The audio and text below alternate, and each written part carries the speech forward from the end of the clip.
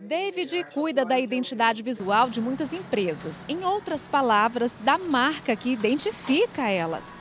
É no computador que trabalha logomarcas, folders, só uma parte do que um designer gráfico faz. Se o cliente, a gente fala que o cliente ele tem a, a joia, né, e a gente lapida. Ele passa a ideia e a gente põe em prática. Isso é basicamente o que o design faz. David sempre gostou de fotografia, mas se encontrou no design gráfico. Já são três anos nessa profissão. Segundo o CAGED, o Cadastro Geral de Empregados e Desempregados, a profissão de design gráfico está entre as 15 que mais contrataram no primeiro semestre de 2018. Foram 3.300 vagas preenchidas. No entanto, para se ganhar mais, não dá para ficar restrito apenas ao trabalho formal. A gente tem que trabalhar na agência, fazer todos os trabalhos dos nossos clientes da agência e por fora pegar trabalhos e trabalhar em casa, no famoso home office.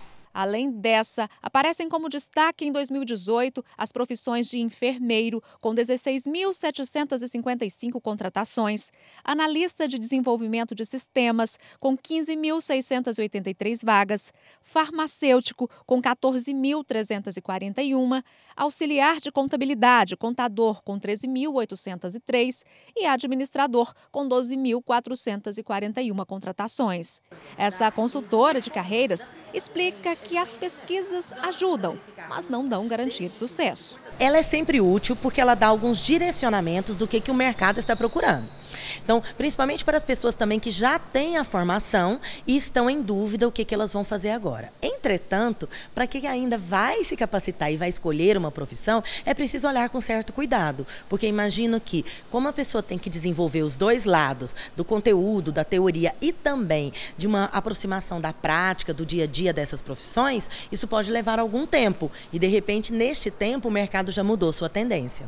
Para quem está procurando uma profissão ou escolhendo uma nova, tem alguns caminhos que podem encurtar a jornada até o sucesso na carreira. Existe uma certa diferença ou uma complementação entre o que eu estudo e o que eu pratico. E é importante para eu escolher uma profissão que vai aí tá, na qual eu vou estar tá investindo tempo, dinheiro e energia, que eu consiga conciliar se eu gosto do conteúdo, se eu gosto de praticar e como é que é a prática real. A dica mais eficaz é aquela resumida numa frase antiga.